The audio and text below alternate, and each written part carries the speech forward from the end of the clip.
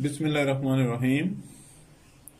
Today I'm going to share with you a very interesting and very useful recipe. It is one of the famous recipe in the breakfast and lunch in Lahore. It is known as chicken chanas. You can call it grams. It doesn't need any fat or any meat or anything else it is very simple for this I have one cup of boiled grams I boiled them with the salt and baking soda and I need cumin 1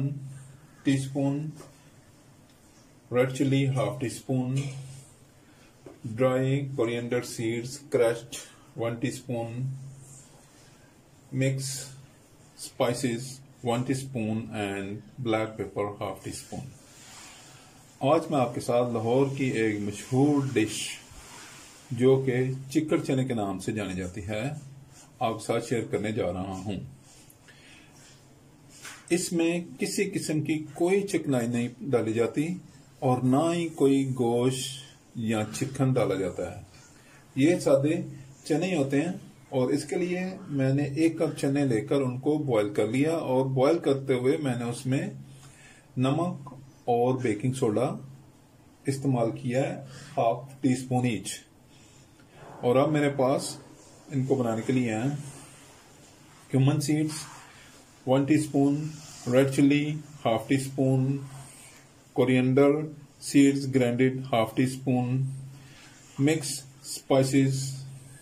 1 teaspoon and black pepper 1, te 1 teaspoon let's start first of all i put the boiled grams into the vase now i put the cumin seeds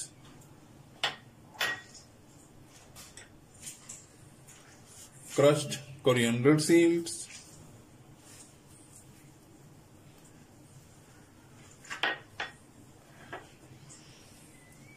black peppers, mixed spices, red chili powder.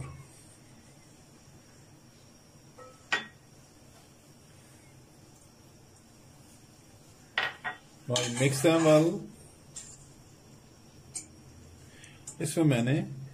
ابلے ہوئے چنے اور تمام مسالے جو ہیں اس میں ڈال دیے ہیں اور ان کو میں اچھی طرح مکس کر دوں گا ان کو مکس کرنے کے بعد ان کو دو منٹ کے لیے میں دم پہ لگا دوں گا اور انشاءاللہ تعالی یہ دو سے تین منٹ میں یہ تیار ہو جائیں گے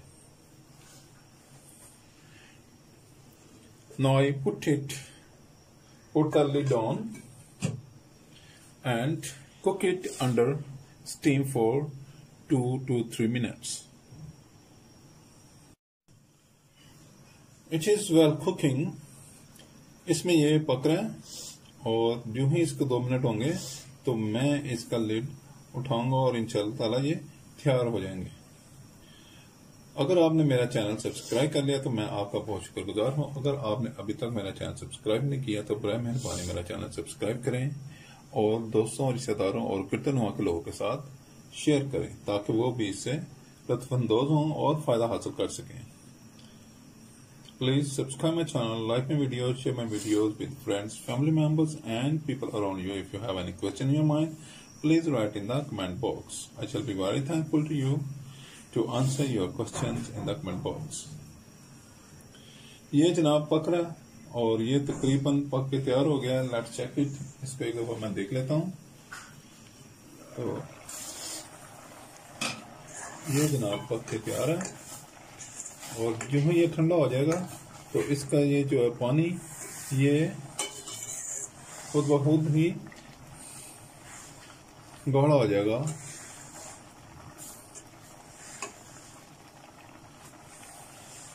کیونکہ چنے تو آلریڈی بوائل تھے اور یہ بس تیار ہے میں اس کا جو آف کر رہا ہوں now ready and now I coriander powder very nice aroma is coming out of nice it very healthy very useful and very very nice it has no added fats no oil no ghee no butter nothing else is added in it and it can be good for vegetarians and non-vegetarians both can eat it very tasty very delicious i hope you will try and enjoy the dish today i have very short recipe with you so thank you for your time Please please subscribe my my my channel, like videos, videos share with friends, family members and people around you. you If have any question in your mind, write in the comment box. یہ میں دیکھیں آپ کے تھوڑی دیر ٹھنڈے ہونے کے بعد گاڑے ہو جائیں گے میں نے اس کو کورینڈر پاؤڈر یعنی کہ دنیا کے پاؤڈر کے ساتھ گارنش کر دیا اور یہ بالکل تیار ہے اس کی سب سے بڑی خوبی یہ کہ اس میں کسی قسم کا کوئی بھی گھی یا آئل استعمال نہیں کیا جاتا اور اس لحاظ سے اس کو سب سے صحت مند فوڈ کہا جا سکتا ہے پلیز بنائیں ٹرائی کریں اور اپنا تجربہ میرے ساتھ شیئر کریں میں آپ کے ساتھ نئی ریسپی کے ساتھ پھر حاضر ہو جاؤں گا تب تک مجھے اجازت دیجیے اللہ حافظ دیئر ود یو اندر tasty easy and mouth you and اللہ حافظ thank you for your time